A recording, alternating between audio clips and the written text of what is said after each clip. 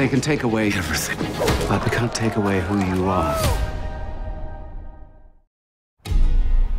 State your name. Alexander Ilyich Rostov. Occupation. It's not the business of gentlemen to have occupations. Your class is a threat against Russia. Therefore, it is the judgment of this committee that you be returned to the Metropole Hotel, where you will remain for the rest of your days. For the last four years, I have been a prisoner in Suite 317 of the Metropole Hotel. It has a window at least. Just about fit on this bed. Ah, G sharp, I believe. Times have changed since our glorious revolution. Most of my friends are dead. My house was seized and burned. You must never leave.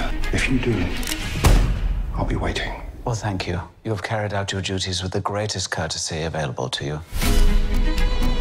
Hello. Hello? I like your mustache. Oh, thank you. How are we going to survive these endless days stuck in this hotel?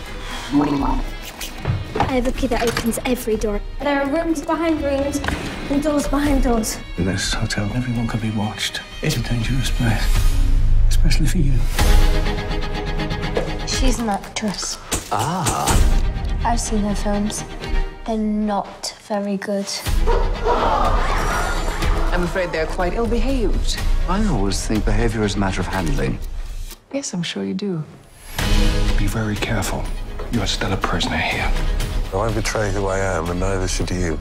Everything in this new world comes at a cost. We could disappear. We could start again. This is still my country. What's your dad? I believe he's refusing to be beaten. They can take away your house. They can take away everything. They can't take away who you are.